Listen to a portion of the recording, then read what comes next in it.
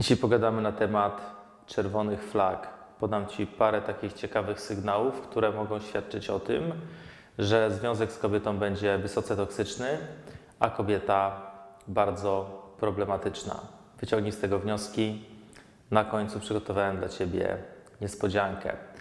Pierwsza sprawa, jeśli Ty poznajesz kobietę i ona tak bez niczego, w sumie bez żadnej zażyłości seksualnej, emocjonalnej, mówi Ci od razu, że Cię kocha, to często jest to warte zastanowienia. Dlaczego? Niektóre kobiety narcystyczne celowo tak bardzo przedstawiają swoją uczuciowość, żeby zaangażować Cię szybko w relacje. To jest związane z niską samooceną narcyzki, która obiera sobie taką strategię po to, żeby Cię uzależnić od siebie. Oczywiście, jak ona Ci powiedziała, kocham Cię, no to Ty już jesteś cały w skowronkach, gotowy na poświęcenie, na to, żeby się angażować. W końcu trafiłeś na kobietę, która się w Tobie zakochała. Niestety tak to nie działa. Jeśli Ty nie masz wyraźnych tutaj sygnałów, gdzie się z nią całowałeś, byłeś w łóżku, yy, spotkaliście się wiele razy, to nie wiesz w to, co ci mówi kobieta tak od razu. Bardzo łatwo jest powiedzieć kocham, bardzo łatwo jest wyznać uczucia. Trudniej tak naprawdę wywiązać się z tego, co się powiedziało. I to jest zdecydowanie duży sygnał ostrzegawczy, więc warto na to uważać. I też warto uważać na to, jak kobieta wyznaje ci uczucia. Bo jeśli kobieta ci wyznaje uczucia w taki sposób, mówiąc kocham cię, i to jest taki styl bycia bardzo sztuczny, y, ona jest taka wyniosła wtedy, kiedy te słowa wypowiada, bardzo często to oznacza, że kobieta nie mówi tego szczerze.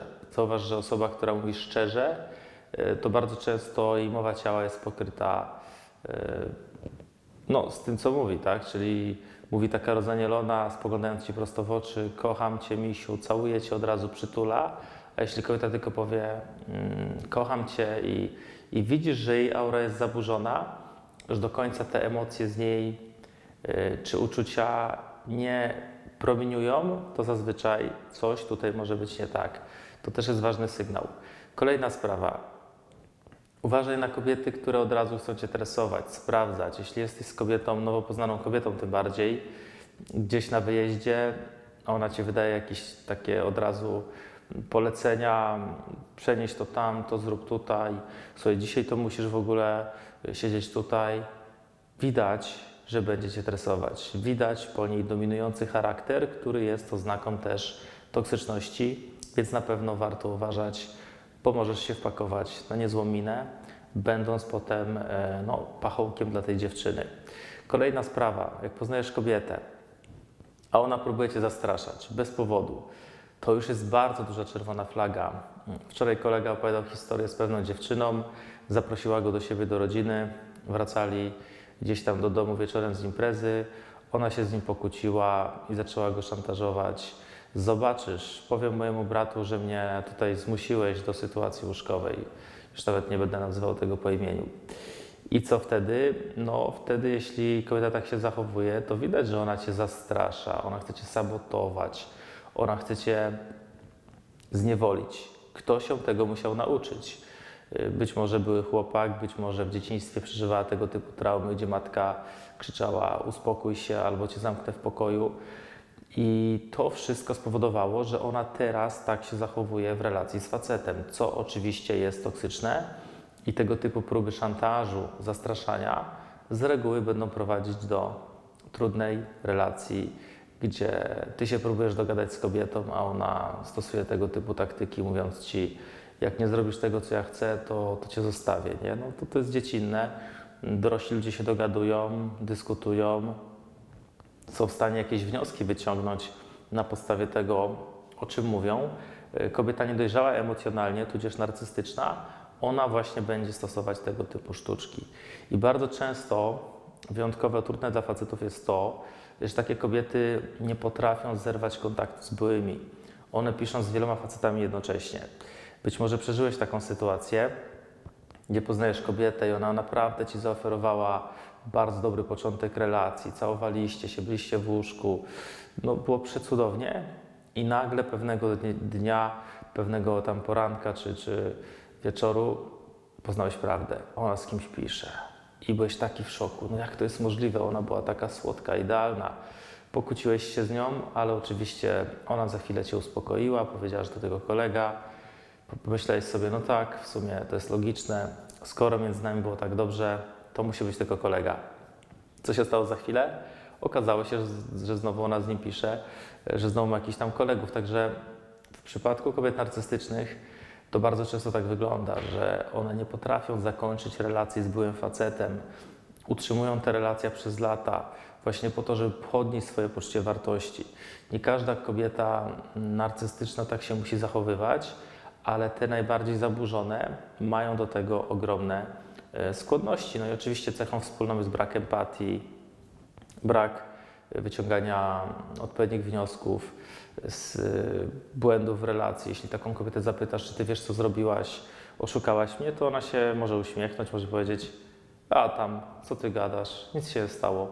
Kiedyś pamiętam, miałem taką konsultację, żona takiego pana zdradzała, on to wszystko udokumentował, przedstawił jej dowody i mówi do niej, co ty na to? Ona tak się na niego patrzy, uśmiechnęła się i mówi, przecież to był tylko seks, o co ci chodzi?